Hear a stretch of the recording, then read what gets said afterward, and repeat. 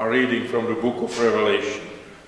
In my vision I looked, and there was a white cloud, and sitting on the cloud was one like the Son of Man, with a golden crown on his head, and a sharp sickle in his hand. Another angel came out of the temple, calling with a loud voice to the one who sat on the cloud, Use your sickle and reap, for the hour to reap has come, because the harvest of the, of the earth is fully ripe. So the one who sat on the cloud swung his sickle over to the earth, and the earth was reaped. Then another angel came out of the temple in heaven, and he too had a sharp sickle. Then another angel came out from the altar, the, under, the, the angel with authority over fire, and he called with a loud voice to him who had the sharp sickle, Use your sharp sickle and gather the clusters of the vine of the earth, for its grapes are ripe. So the angel swung his sickle over the earth and gathered the vintage of the earth, and he threw it into the great winepress of the wrath of God. The word of the Lord. Thanks be to God.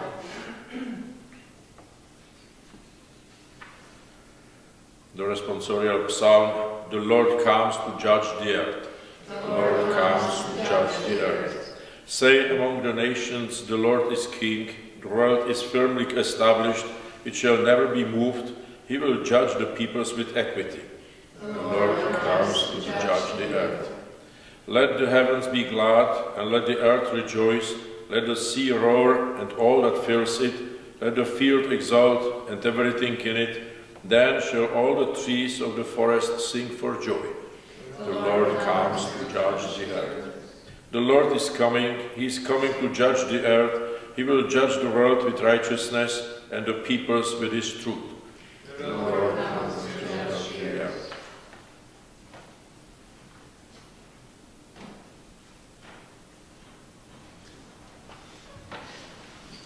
The Lord be with you. And with your spirit. A reading from the Holy Gospel according to Luke.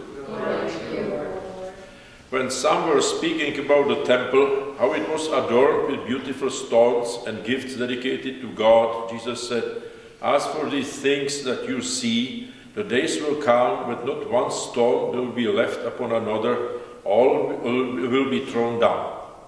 They asked him, Teacher, when will this be? And what will be the sign that this is about to take place? And Jesus said, Beware that you are not led astray, for many will come in my name and say, I am he, and the time is near. Do not go after them. When you hear of wars and insurrections, do not be terrified, for these things must take place, uh, take place first, but the end will not follow immediately. Then Jesus said to them, Nation will rise against nation, and, the, and kingdom against kingdom. There will be great earthquakes, and in various places famines and plagues, and there will be dreadful portents and great signs from heaven. The Gospel of the Lord. Praise you, Lord Jesus Christ.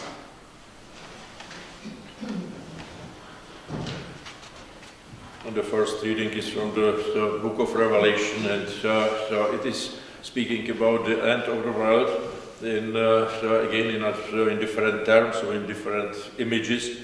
But we hear about that angel who came with, this, with his sharp sickle to harvest uh, the, the, the, harvest, to gather the harvest for the Lord. And then another uh, uh angel comes with a sharp sickle and uh, he, uh, uh, he gathers that other part of the, of the harvest, that other growth, and he threw it into the great winepress of the wrath of God. And, uh, and from here, we see in the first place that yes, it was always this, uh, that faith that uh, the, the, end will come. There was uh, the, the, judgment, the, separation of the good and evil uh, will come. The, the good will, will be rewarded, and the, the, the evil will be uh, punished. So it is, uh, so again another another confirmation of that belief that was always present and, uh, and yes, uh, we uh, have to, to remember that, yes, those options are sadly open to all of us. We always have to have in front of our eyes or in our mind that, that memory that, yes, I am able to do something wrong, and, uh, and uh, I make my decisions, and uh, in those decisions, uh, according to those decisions, I will, I will be one day rewarded with good or evil according to what I do. And uh, nobody, nobody can say that uh, for me there is only heaven or I am saved. Uh, so it is uh, the, the, one of the, uh, of the sins against the Holy Spirit. And uh, so actually uh, there are two of them in this, uh, in this area. One is the presumption of the salvation and the other is despair. And uh, both of them are sins that are, uh, the Lord himself uh, says that they are unforgivable. Uh, and it is not that the Lord cannot forgive them. But uh, it is uh, you know, in this position of the, of the individual that uh, simply cannot or does not, does not look for the salvation, does not look for what the Lord has brought us. And uh, the, the one who assumes or presumes the salvation does not need uh, anybody, does not need the church, does not need the, the, the sacraments, does not need anything. He knows already that uh, everything is okay or that uh, he's doing well, and uh, he knows that he will go to heaven and everything uh, is done. So it's, it is a presumption. If someone does not need God's grace and does not need uh, even God's forgiveness, what the Lord has brought us, uh, that's, uh, that's the sure way to be lost.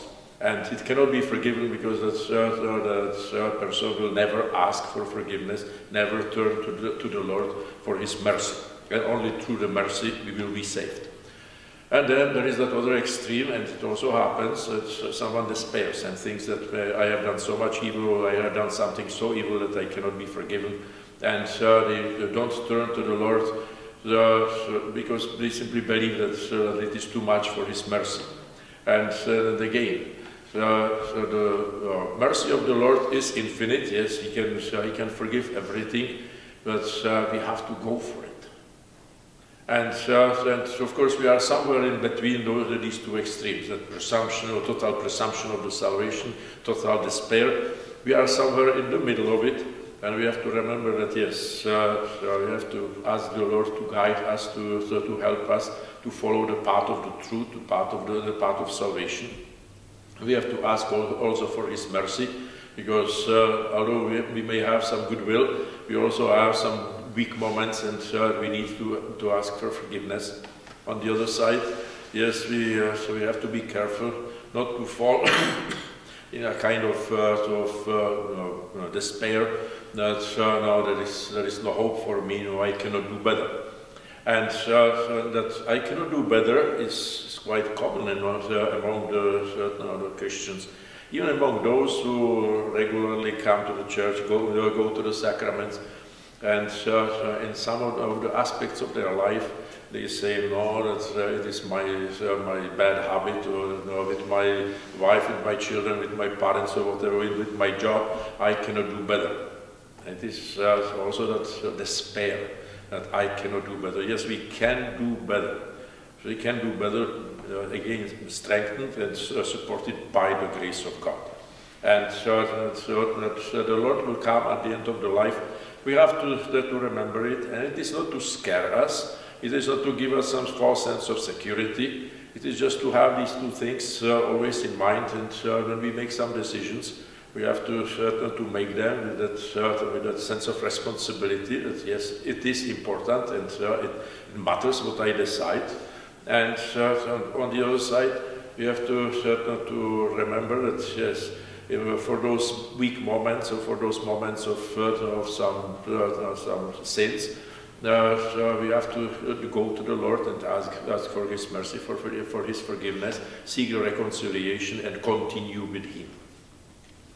But then in the Gospel we hear about uh, uh, the, the, end of Jerusalem and end of the world. And uh, it is the Lord Himself who is speaking there. First, He's responding to some people who, who had uh, some false hope.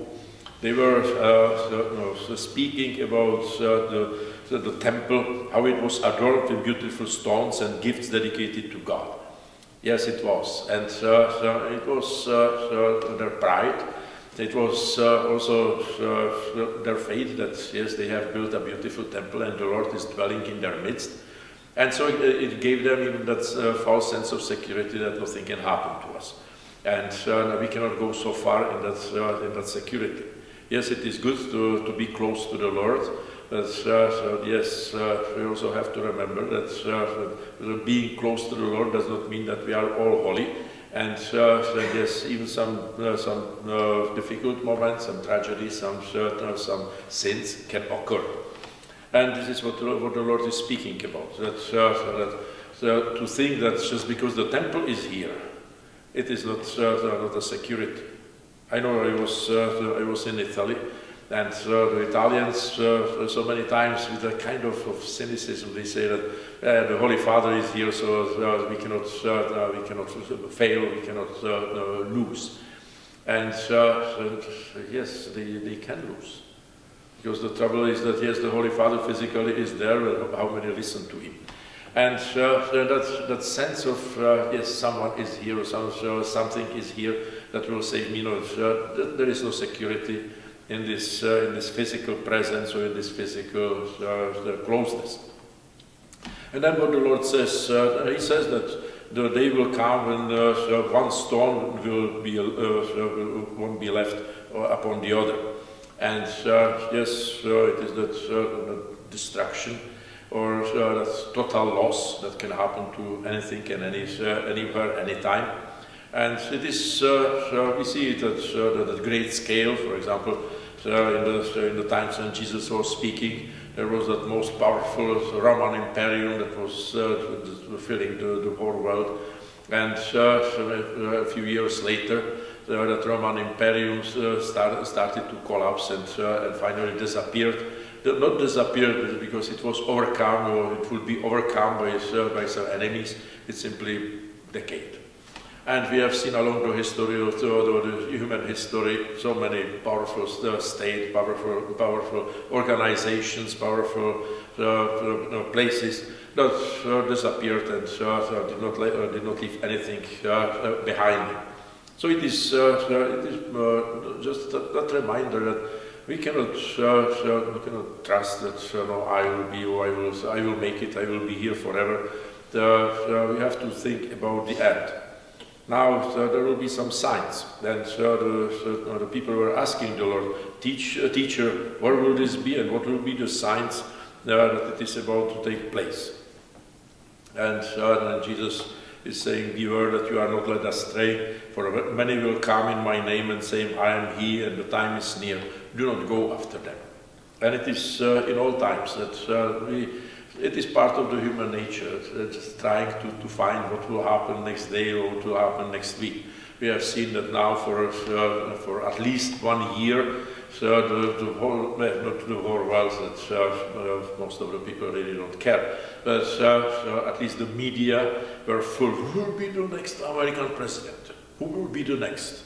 Uh, whatever happens, it's, uh, so it is still a man, and so, so no matter who is there, finally he doesn't have such an authority, and so, so he's handled by others, so it doesn't make such a difference. But it was what will happen, what will happen, that anxiety. But it is, uh, it is also about uh, the, the, future that we have even more personally.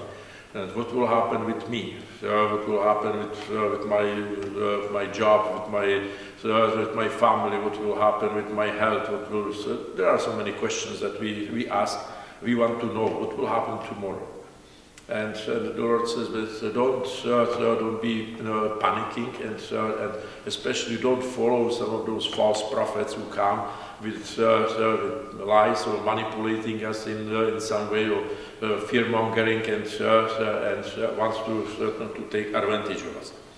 And uh, the Lord continues, He says, when you hear of wars and insurrections, do not be terrified, for these things take, must take uh, place first, but the end will not follow immediately.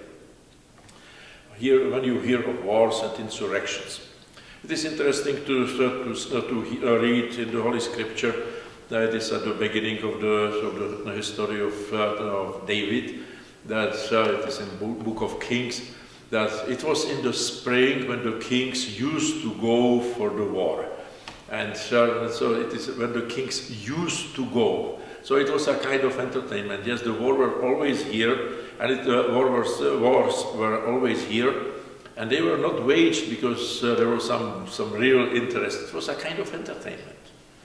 And when you look at the, the human history, most of, time, most of the time it was really not, not fighting for anything, uh, anything serious. It was a kind of entertainment and uh, political interest in, uh, in so many ways. And, uh, and yes, uh, thousands or millions of people were sacrificed for nothing. And, uh, and the world returned to the previous order and, and nothing had happened. So the wars were here, and, and just to think that some war is, is worse than the other, uh, all of them are bad uh, because they, all of them uh, create victims, innocent victims, and make the people suffer. All of them violate one of the basic commandments, thou shalt not kill. So it is, so the wars were here and are here and sadly will be here. Now, so, so the, the, the, trouble in, in our modern time is, and it is with the wars and, and the insurrections and and uh, earthquakes and famines and, and so on. But uh, we think, no, now, now it is uh, it is really the worst, and uh, we cannot do better. So it must be the end of the world. And we see some of the some of the people that that are really taking advantage of it, and they they try to to use this fear that for again for their advantage. And uh, so it is, uh, there is no difference from the past. the earthquake was, was, were always there. even Jesus is speaking about them. And uh, the wars were always here. Famines were always there. nothing, has, nothing has happened. The only difference is that, that when there was a, a war or insurrection, let's say in the times of Jesus, when there was something in the, in the Holy Land, before the, the new came to Rome, it was all over and, uh, and uh, nothing had happened. Now, uh, whatever happens, within minutes, we, we know around the world that something is, uh, is happening, and, and so, so we see immediately all kind of, of hysterias and, and even, even reactions that are totally, totally brainless. So we see that uh, there is some kind of riot on the street and, uh, and, uh, and the stock market is, is going, going out of control. And there, are, there are so many ways how to manipulate, uh, manipulate the human minds and how to use the, uh, the events for, uh, for some advantage that is really undue. And so we only know about it and we know about it more, and so we think that, oh yes, so now the, the end must be here.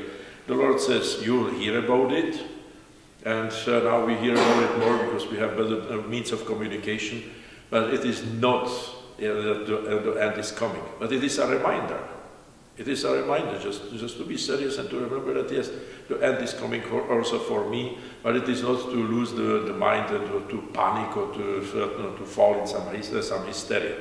We have seen just, just a few days ago with that, uh, that hurricane that hit the United States.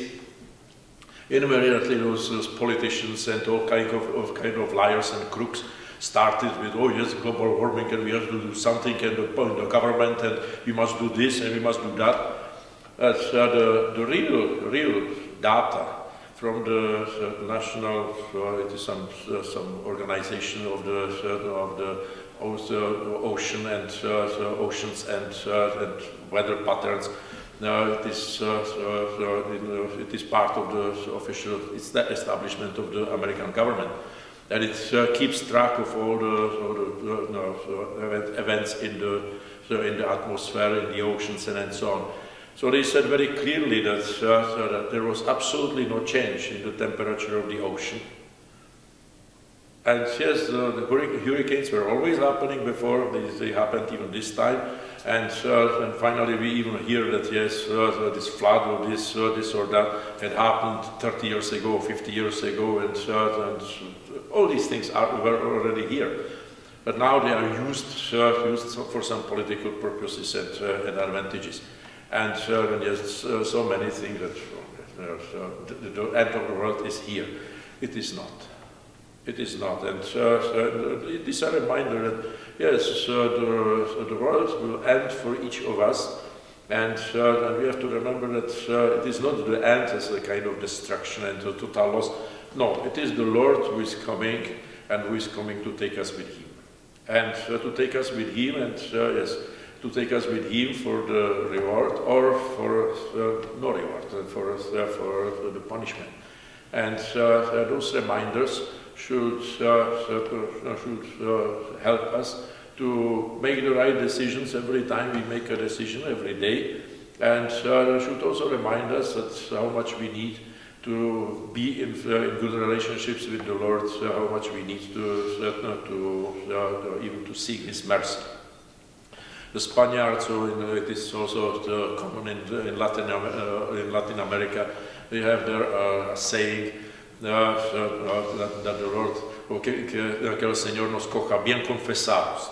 And it means, may the Lord catch us well confessed. And so it is, whatever comes, if I'm at peace with the Lord, that, that's okay.